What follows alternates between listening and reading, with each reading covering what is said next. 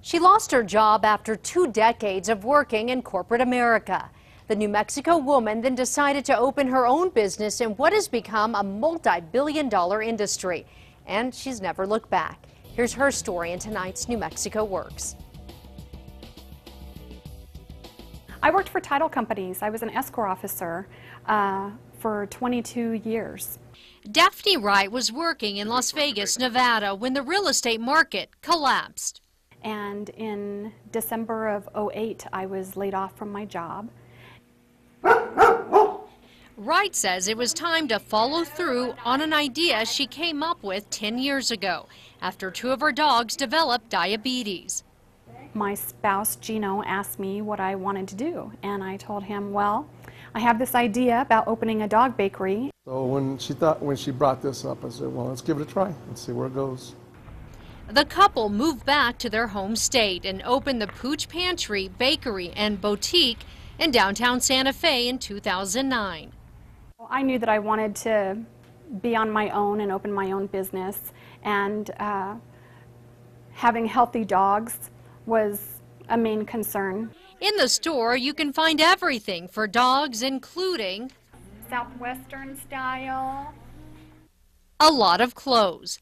But when you walk in the store, the first thing you notice is how it smells. A lot of people say, oh, it smells good in here. Wright spends the day baking. There is no salt, no sugar, no butter in any of our biscuits. We use natural ingredients.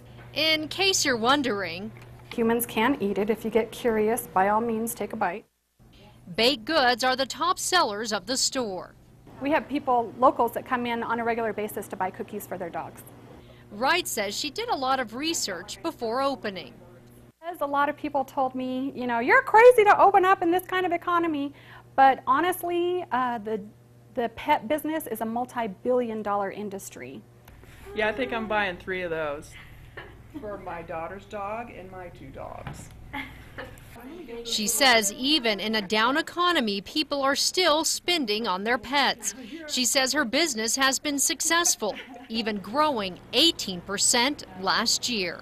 The bottom line is a lot of people's pets are their children. You can't spoil a kid with too much love. I feel the same way about dogs. Wright says she doesn't have any regrets leaving corporate America. I don't. You know, I told my mom when I was going to start this, I said I've worked 22 years in a very high stress environment, and it's time for me to do something that I want to do. The store also offers obedience classes and free nail clippings. You can also find products for cats at Pooch Pantry. If you have a success story for our New Mexico Work segment, email me at jessica.gadete at krqe.com.